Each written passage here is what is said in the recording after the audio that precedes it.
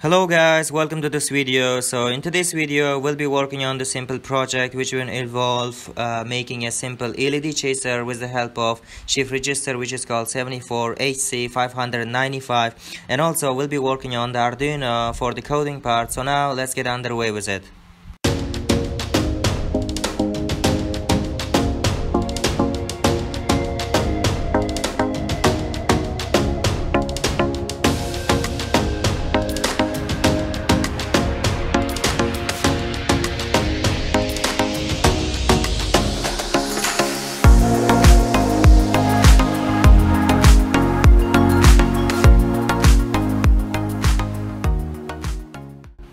Firstly, we will be needing three things and they are the plastic which is in a circular shape and the most important component is the LED and the last remaining item is resistor which we will be using to protect LEDs from burning.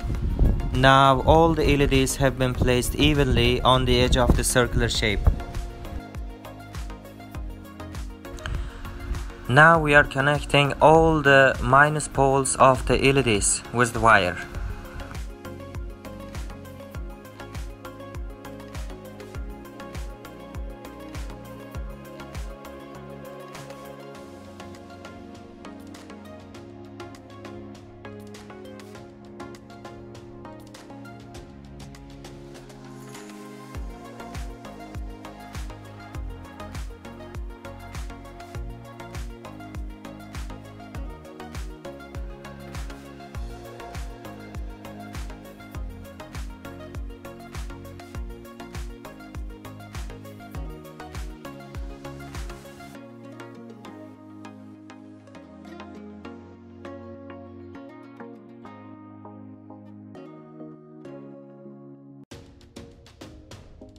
Once we are done with the connection of the minus poles of the LEDs, now it's time to connect all the resistors.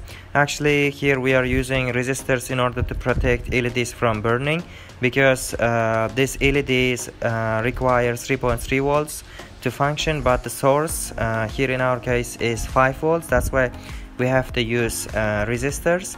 Uh, one single resistor will be used for each LED.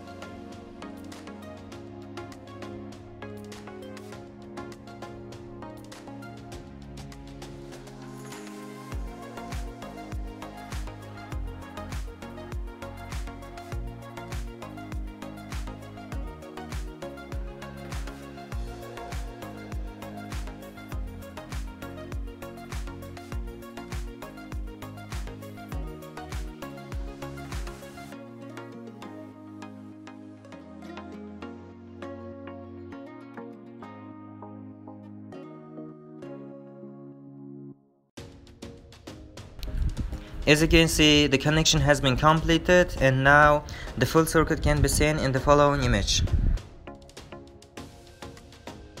So guys, for this project, we've been using white LEDs and of course if you want, you can use any other LEDs which are different in color depending on your preference.